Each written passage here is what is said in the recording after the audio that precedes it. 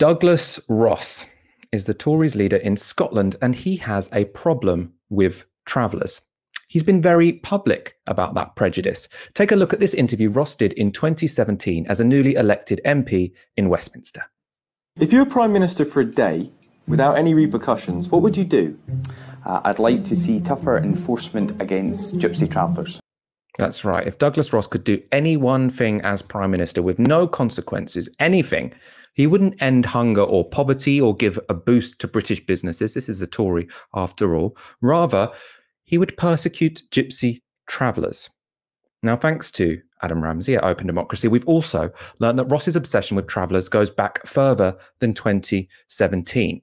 So, in this article, which was published this week, Adam reveals that when Douglas Ross was a councillor in Moray, North East Scotland, he led a campaign to block the development of a legal traveller site. Now, this was this happened in 2010. A traveller um, had brought a plot of land to develop um, into a site and complained that Ross would regularly appear at the bottom of their drive taking pictures. Douglas Ross also went around local farms encouraging people to sign a petition against the granting of planning permission for the site. This is someone who's really obsessed with with stopping um, uh, this person get planning permission for a traveller site. We know there's a huge shortage of traveller sites across the UK. Now, unfortunately for Douglas Ross, local supporters of the tra- traveller community in question gathered even more signatures in support of the development than Ross managed to collect in opposition. This was an obvious example of democracy in action. However, Ross wasn't happy with this outcome and he complained this is the man who is currently leader of the Scottish Tories. He wants to be First Minister of Scotland. And he said this kind of thing about ethnic minorities who are discriminated against. On May the 6th, Douglas Ross will be standing um, to become First Minister. And there was a debate last night for those elections. So all of the leaders of the Scottish parties stood up and argued why they should um, be elected on the 6th of May. And in that debate, the co leader of the Scottish Greens, Patrick Harvie, challenged Ross on his record of prejudice. I want to suggest to you that you've built your political career uh, on divisive language and actions against one of Scotland's most marginalised communities, the Gypsy Traveller community. It's not just your claim when you were asked if you were Prime Minister for a day what your first action would be tougher enforcement against Gypsy travellers. You've campaigned against their right to legal traveller sites for a decade, and when your attempts to stop one of them failed, uh, you complained about what you called having to bend over backwards for this ethnic minority. Is it your whole party that's prejudiced against gypsy travellers, or just you? I've apologised for the comments I made in the interview you have cited. They were wrong. It was the wrong answer to the question, which was well put, uh, and I should have answered it far better. There are so many other priorities that I could have answered with, and I should have answered with, and I apologise for that. But on the later case that you cite, in my 10 years as a local councillor, and in my time as an MSP and an MP, I've always stood up for constituents who have come to me seeking action on issues that they are worried about. And there was and a big issue. for gypsy travellers was, who don't have legal sites, or was, have you tried to block those legal there, sites? There was a big issue, and we formerly had a legal site. It had to be closed by over 100 officers from the former Grampian Police because of illegal activity which took place there. So I will continue to act on behalf of constituents who come to me as a representative seeking help and to advocate Your the points constituents are also gypsy travellers. Do you acknowledge that this is a long persecuted community in Scotland? And what will you personally do to make amends for the way that you've broken trust with them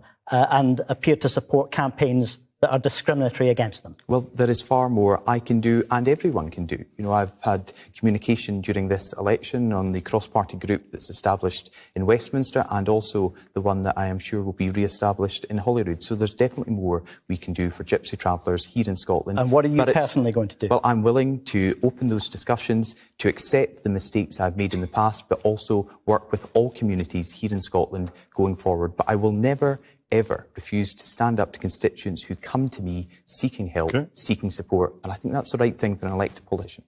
So you heard there, he apologised for saying that his number one priority were he to become Prime Minister would be to persecute gypsy travellers. However, there was no apology either for organising to try and stop um, the, the, the traveller site get legal um, approval, nor apology for saying, complaining um, that people were bending over backwards for an ethnic minority. Adam Ramsay Could you talk about the broader article in that in that piece? So you were saying that Ross's own habit of targeting gypsy travellers taps into a deeper history and and deeper presence of racism against travellers in in Scotland. So, I mean, very briefly, can you summarise um, your your argument? Yeah, sure. I mean, the first thing people need to understand is that there are a number of distinct different gypsy and traveller groups in Scotland. I think a lot of people aren't aware that, like Ireland, Scotland has, um, the Highlands in particular, have an indigenous traveller group, which is, um, you know, it often interacts with, but is distinct ethnically and historically from the Gypsy Roma um, tradition who arrived around 1500 in Scotland. So for at least a thousand years, there's been a nomadic tradition, nomadic group in Scotland with their own language, their own culture, etc. So that's what we're really talking about. Moray is up in the Highlands. So when we're talking about Douglas Ross, we're talking primarily about Highland travellers, um, an ethnic group which are very rarely talked about in British politics. And um, there's a very long history. So from you know the 1570s, it was illegal to kill gypsies, um, as in Roma gypsies. Um, from the uh, from 1609, uh, James VI um, passed a law which um, again reinforced you could kill gypsies and also uh, banned any kind of you know support for traveller communities. And that history goes on and on. And we could talk about that in in detail. But in the last, one of the things I you know discovered when I started interviewing elders in the traveller community over the last couple of months, which I had no idea about. I grew up in rural Perthshire where there's you know a, a lot of travel. There were a lot of travellers as a kid. I knew this history. I thought. What I didn't understand is that from about the 1890s, there was a long phenomenon of um, essentially taking children off fam- traveller families, you know, kidnapping them as the state and then deporting them to colonies in order to essentially try and ban the nomadic lifestyle and that was fairly explicit. A policy which started, by the way, um, in a report written by George Trevelyan, who was the Secretary of State for Scotland at the time, whose father, Charles Trevelyan, um, is the man some of you might know notorious for um, being behind a lot of what went wrong in the Irish famine, um, who said that famine was a effective solution to the population problem, as he put it. Um, and you know, this is essentially a quasi-genocidal policy. And I spoke to people whose grandparents or that had siblings deported, you know, taken from their parents by the state and deported to Canada and to Australia. Um, this is a story which has never really been told outside the traveller community. It's really shocking. And this very active attempt to force travellers to settle, and if they refuse to settle, you know, literally taking their children off them. And that is a story that's still live today. So, you know, one um, elder in the traveller community in Angus told me that she'd intervened when the police were trying to stop some travellers stopping on her site near her house um, up by Montrose in Scotland um, a few years ago. And the police said to the parents of this family, you know, if you don't do what we tell you, we'll arrest you. And then what do you think will happen to your children? In other words, you know fine well that then we'll take them off you. Um, so this threat is still held over the traveller community. And that's the context that Douglas Ross's behaviour arrives in. You know, that there is a very virulent racism against that particular community. In my primary school growing up, this was the most familiar kind of racism. You know, it was very popular to bash, you know, traveller children um, and to, um, you know, accuse others if they were seen as, you know, I won't. I don't want to repeat the tropes, but yeah, yeah, yeah, yeah, yeah.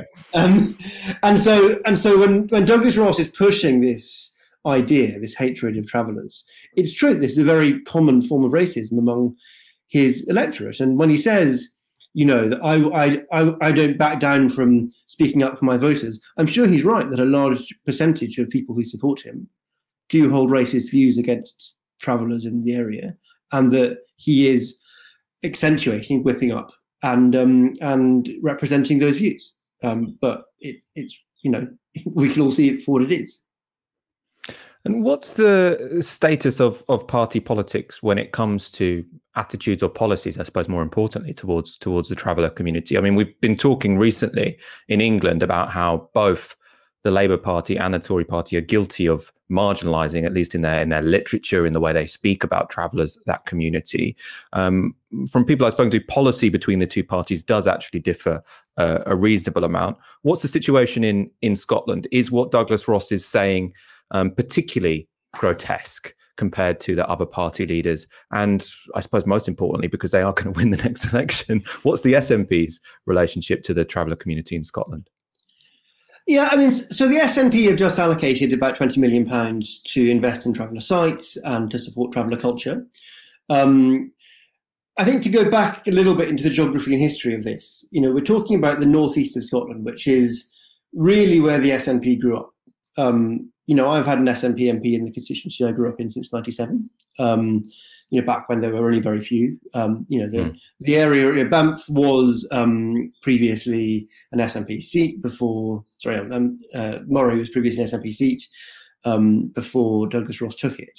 So this is kind of the SNP heartland, and the class politics in the region is that basically working class people vote SNP on the whole, and um, landowners, wealthier people tend to vote Tory as as they do across the UK, and unsurprisingly, it's fairly consistently the case that the people who particularly don't like um, travellers are landowners, and the working class communities have traditionally had much better relationships. Often, you know, partly because travellers are working class and and they will work.